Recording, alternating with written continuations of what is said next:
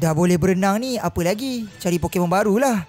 Dapatlah Basculin yang degil tak nak masuk dalam Pokeball ni, aku namakan dia kotoran. Aku tak ada banyak pilihan. Jadi aku teruskan perjalanan ke Team Star Base yang pertama. Leader dia Giacomo. Ada dua Pokemon. Ponyat tak ada hal. Low kick dari kebiruan hantar dia terus ke syurga. Kereta dia ni yang masalah. Keras gila. Aku guna ikan merah dan cenonek kurangkan attack dia. Lepas tu slow-slow serang. Waterfall dari ikan merah dan Team Star Base berjaya ditawan. Pokemon baru kita dah mula function. Cap level 24. 5 per 18. Kepala aku dah start sakit sebab next adalah Ayaya Gogura Gym. Masak. Proses tangkap menangkap dimulakan. Aku tangkap Marini aka Bangrol, Slowpoke aka Slow, Finizen aka Sarkis dan Walk Trio aka Cacing version 2. Tapi aku tak boleh guna sebab dia over level. Team memang banyak tapi masalahnya semua water type nak menghadap electric gym.